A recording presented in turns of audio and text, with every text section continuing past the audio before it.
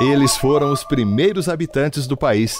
De cultura rica e muito peculiar, representam a diversidade dos povos e comunidades tradicionais que vivem aqui no Brasil e fazem parte do DNA do povo brasileiro. Claro que estamos falando dos povos indígenas. Neste episódio, vamos saber mais sobre o que tem sido feito para proteger e promover os direitos dos povos indígenas no Brasil. Eu sou o Roberto Camargo e esse é o MJSP em Foco, que está só começando. A Fundação Nacional do Índio foi criada em 1967 de lá para cá, a FUNAI, vinculada ao Ministério da Justiça e Segurança Pública, é quem coordena e executa a política indigenista do governo federal. Por isso, nossa conversa hoje é com o presidente da FUNAI, Marcelo Xavier. Olá, presidente, muito bem-vindo ao podcast MJSP em Foco. Eu que agradeço a oportunidade de falar um pouco sobre a temática indígena e o trabalho da nova FUNAI. Bom, o senhor pode começar fazendo um raio-x da população indígena hoje no país? Quantos são, quantas etnias estão aqui representadas, qual a extensão das áreas indígenas? Olha, nós temos hoje aproximadamente um milhão de indígenas. Estão espalhados por todo o país.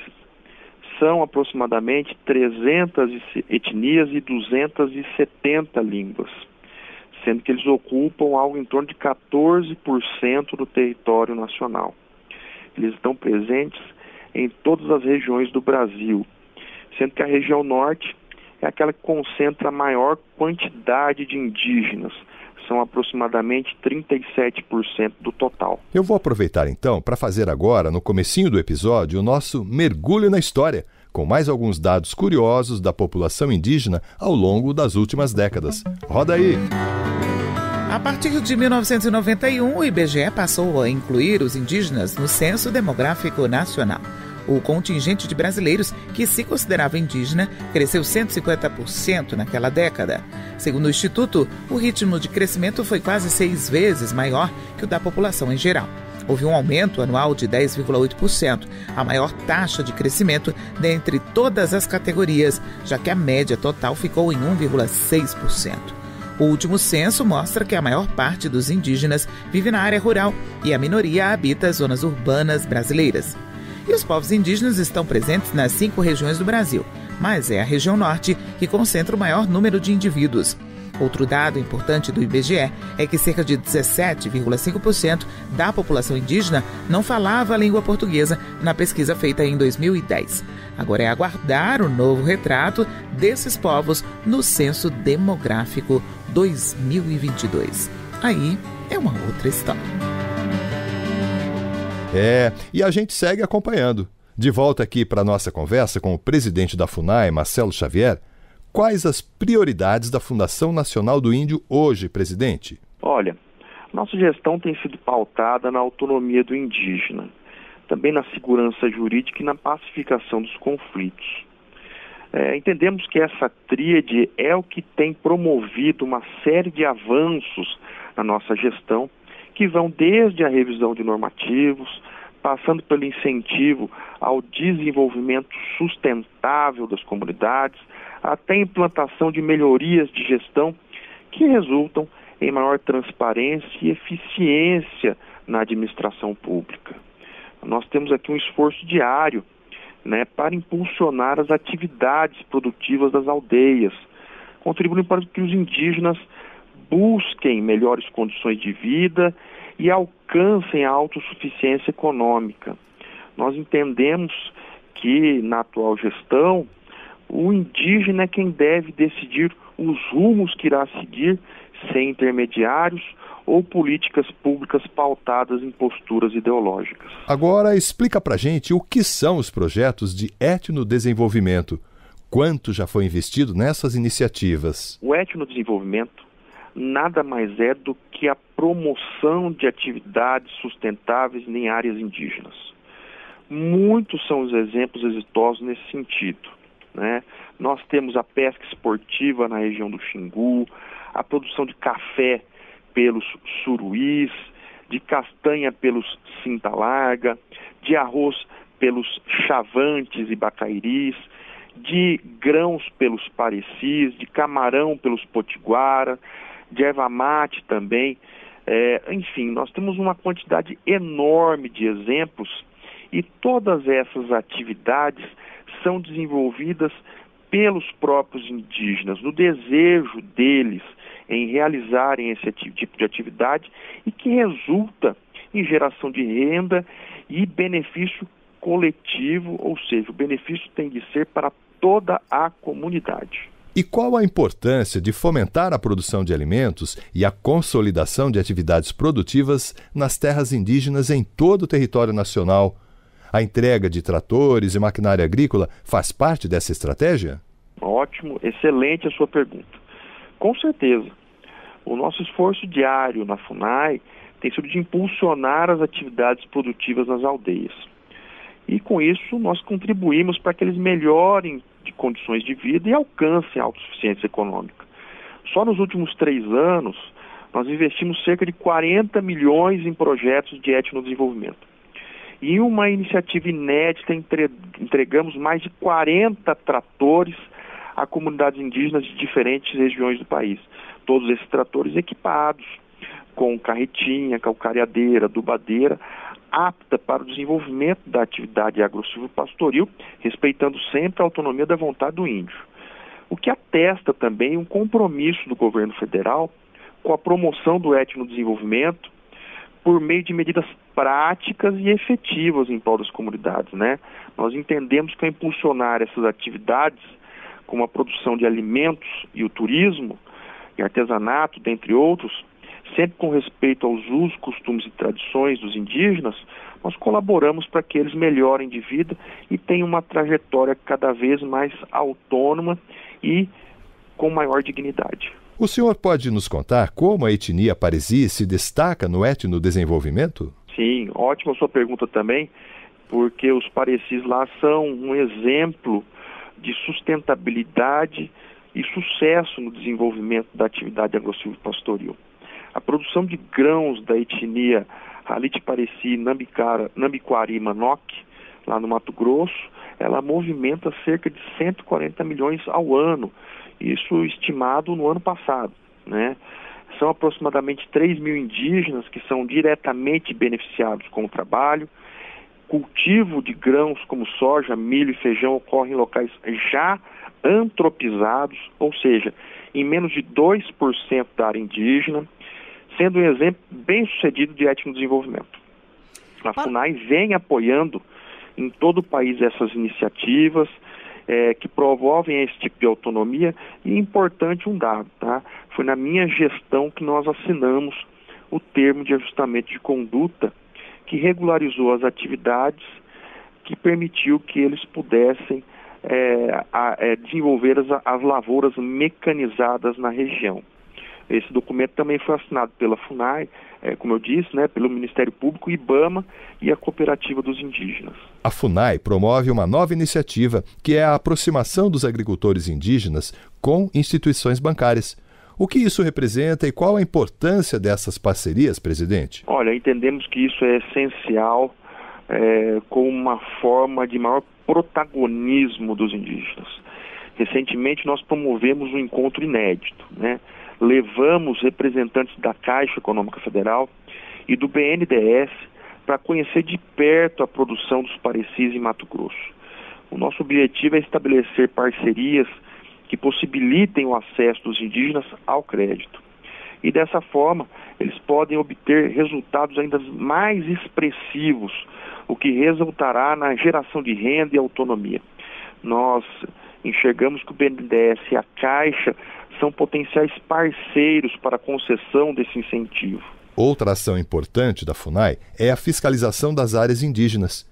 Quanto foi investido pela Fundação nos últimos anos nessa área e de que forma é feito esse trabalho? Nos últimos três anos, nós investimos cerca de 72 milhões em ações de fiscalização de terras indígenas. Essas ações são fundamentais para garantir a segurança das comunidades e prevenir o contágio pela Covid.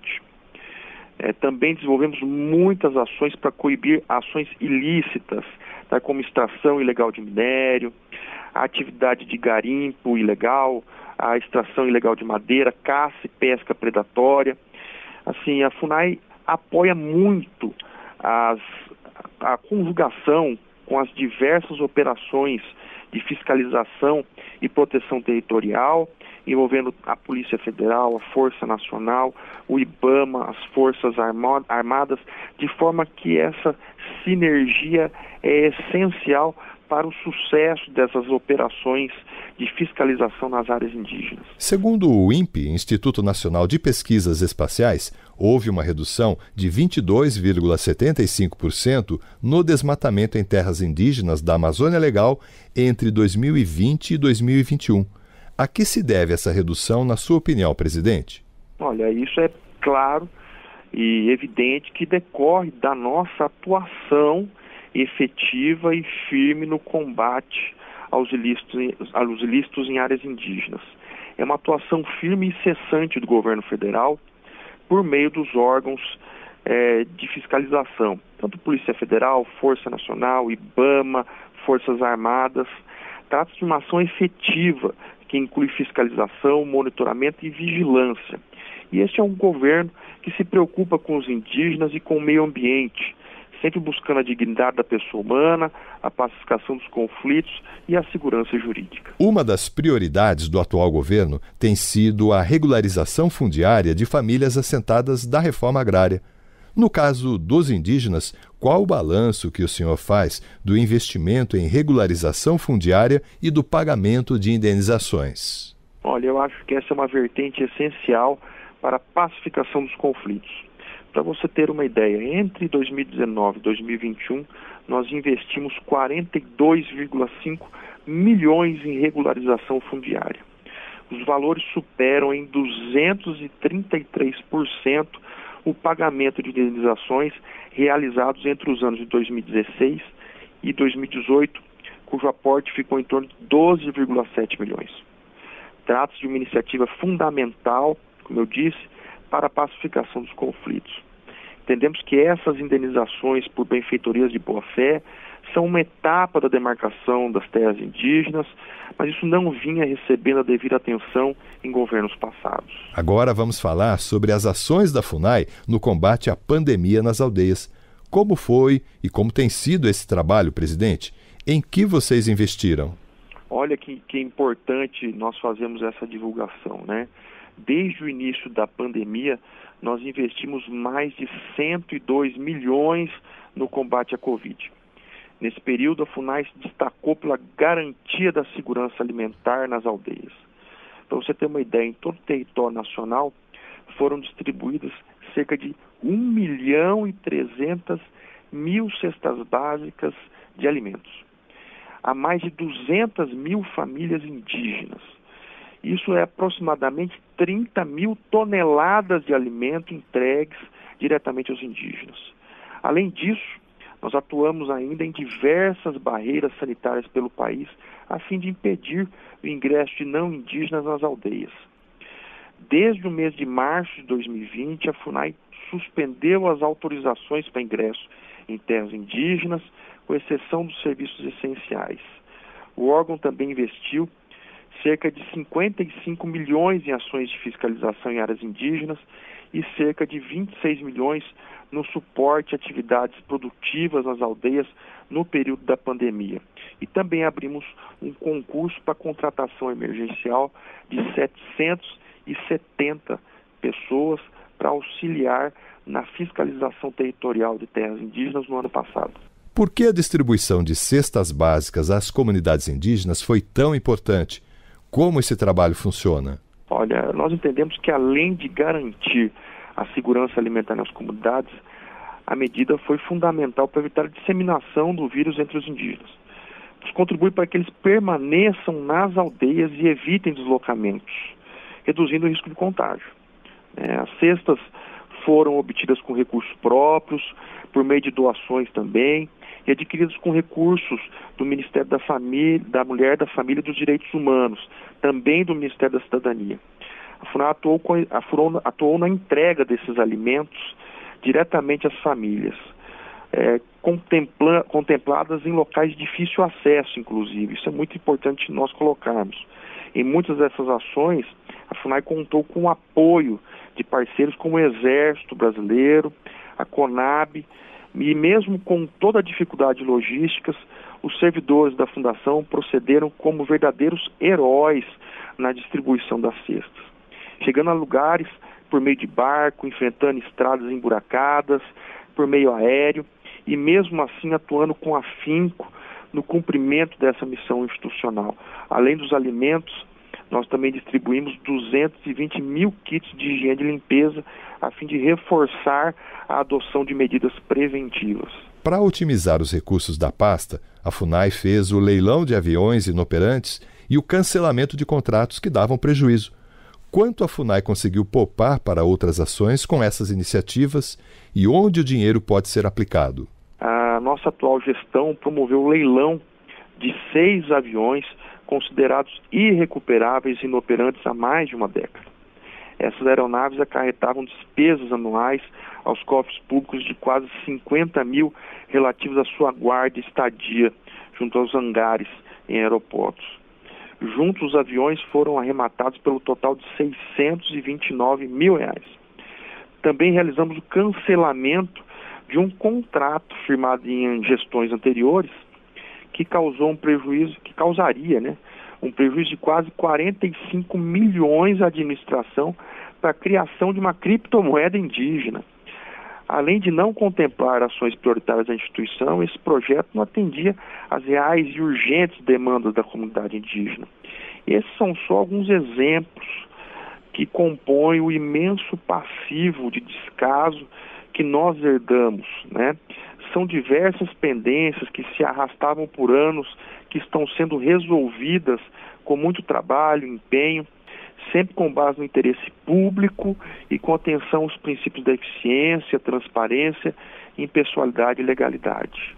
O senhor gostaria de acrescentar algo a essa entrevista? Eu gostaria de acrescentar que é muito importante que as pessoas consultem o nosso site, onde são divulgadas ações diárias realizadas pela FUNAI, que não se deixem levar por notícias fantasiosas, que entendam que o indígena é um ser humano como outro qualquer, com os mesmos sonhos, possibilidades e deveres.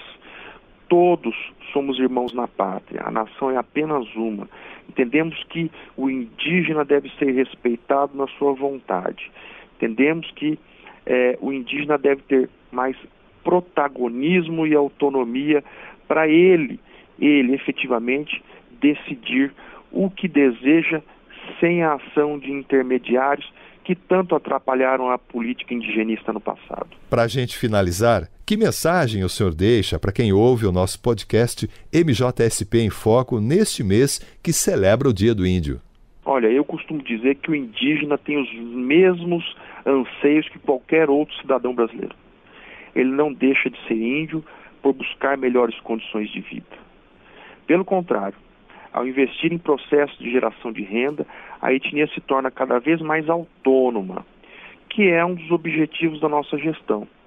Quem tinha ido para a cidade acaba voltando para a aldeia, as tradições são mantidas e a cultura se fortalece. É um cenário em que todos ganham. Chegou o momento de o indígena tomar as próprias decisões e escolher os rumos a que pretende seguir. Tem como manifestar a sua vontade, sem intermediários. Entendemos que só assim teremos um futuro digno para todas as aldeias do Brasil. Eu agradeço pela entrevista, presidente Marcelo Xavier. Eu que agradeço a oportunidade e estou sempre à disposição para tratar desses temas. Obrigado. Bom, esse episódio termina aqui, mas você já sabe que a gente ainda vai trazer aqui pelo podcast muito conteúdo sobre as ações da Justiça e Segurança Pública no país. Eu sou Roberto Camargo e te espero no próximo MJSP em Foco. Até lá!